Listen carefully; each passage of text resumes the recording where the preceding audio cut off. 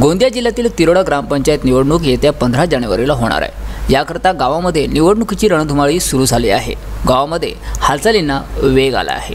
गोंदिया जिल्ह्यामध्ये एकशे एकोणनव्वद ग्रामपंचायतीच्या निवडणूक होणार असून यापैकी तिरोडा तालुक्यातील एकोणीस ग्रामपंचायत मध्ये निवडणूक होणार आहे. याकरता निवडणुकीची तयारी वेगाने सुरू झाली आहे. इच्छुक उमेदवार मतदारांचं मन आपल्याकडे वळू पाहत आहे असंच चित्र सर्व गावांमध्ये सध्या दिसू लागलं आहे उमेदवार खर्च मर्यादा ग्रामपंचायत सदस्य संख्या यावर निश्चित करण्यात आली आहे. यामध्ये सात ते नऊ सदस्य संख्या असलेल्या ग्रामपंचायतीच्या निवडणुकीमध्ये खर्च पंचवीस हजार रुपये तर अकरा ते तेरा सदस्य असलेल्या ग्रामपंचायतीच्या निवडणुकीमध्ये खर्च पस्तीस हजार रुपये त्याचप्रमाणे पंधरा ते सतरा सदस्य संख्या असलेल्या ग्रामपंचायत निवडणुकीचा खर्च हा पन्नास हजार रुपयेपर्यंत मर्यादित ठेवण्यात आला आहे. आवश्यक कागदपत्रे सादर करणं बंधनकारक आहे.